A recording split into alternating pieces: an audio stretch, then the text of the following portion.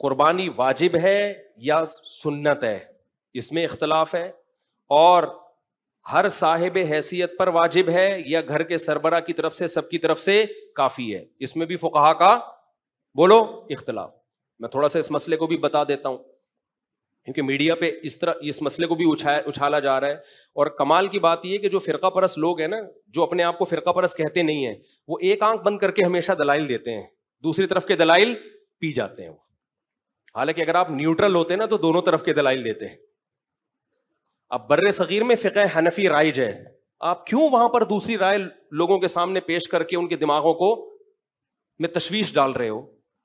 और अगर आप कहते हो हम किसी फिका शिका को नहीं मानते तो फिर दलाइल दोनों तरफ़ के दो ना, आप आधे दलाइल क्यों देते हो आप?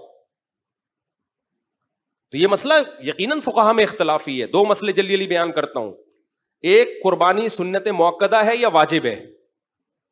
दूसरा मसला, घर के सरबरा में एक की तरफ़ से सबके लिए काफ़ी है या हर साहिब हैसियत को अलग अलग करनी पड़ेगी। तो जिन फुकाहा की राय यह है कि सुन्नत है, सुन्नत मौकदा है, वाजिब नहीं है, वो हज़रत अब्दुल्ला बिन उमर का कॉल पेश करते हैं कि हज़रत अब्दुल्ला बिन उमर से पूछा गया कि क्या कुर्बानी लाजिम वाजिब है या वाजिब नहीं है? तो उन्होंने फरमाया कि नबी सल्लल्लाहु अलैहि वसल्लम ने कुर्बानी की और आपके दुनिया से जाने के बाद मुसलमानों ने कुर्बानी की है।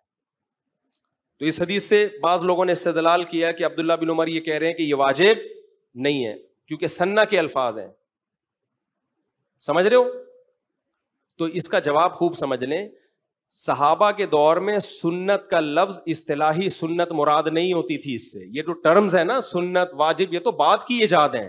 सहाबा के दौर में सुन्नत का मतलब था तरीका। वो वाजिब भी हो सकता है और मुस्तहब को भी कहा जा सकता है वो। तो इस हदीस से ये नहीं पता चलता कि ये सुन्नत है, वाजिब नहीं है। बल्कि अब्दुल्ला बिन उमर के तरीके से ये पता चलता है कि वो सामने वाले को कह रहे हैं कि इस बहस में मत पड़ो कि वाजिब है या सुन्नत है। नबी ने की और नबी के बाद मुसलमानों ने की है। तुम भी करो। समझते हो कि नहीं समझते? इन इस्तेलाहात में पढ़ने की ज़रूरत नहीं है। ये काम नबी ने किया, हमेशा किया है। जब से कुर्बानी लाजिम हुई है ना हमेशा किया आपने।